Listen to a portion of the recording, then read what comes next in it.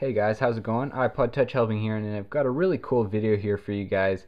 And uh, this is on a tweak called Masks. Alright, so uh, this is a really awesome tweak that uh, just came out in Cydia actually. And uh, I'm going to show you guys a bit about it. And uh, basically, you guys can tell here, um, the icons look a little bit different.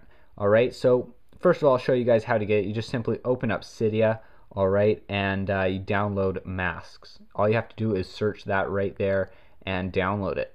Once you have it downloaded and installed, what you guys are going to simply want to do is uh, go into settings and uh, you're going to find masks. Alright, so there it is right there. You're going to click on it and uh, make sure it's enabled on the top.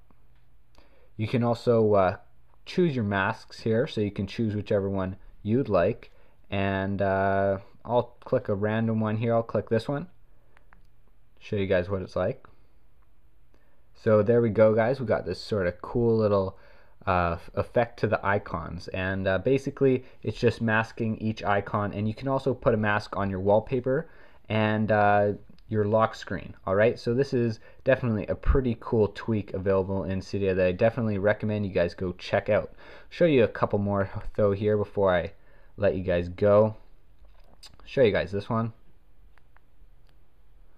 See what it's like there we go. You know, this one's not that great because you can't really see the icons too well. But maybe on like a black or white background, it would be kind of cool. Alright, so hopefully you guys did like this real quick video on Mask. Uh, I think it's pretty awesome. Please rate, comment, subscribe. Catch you guys later. Peace.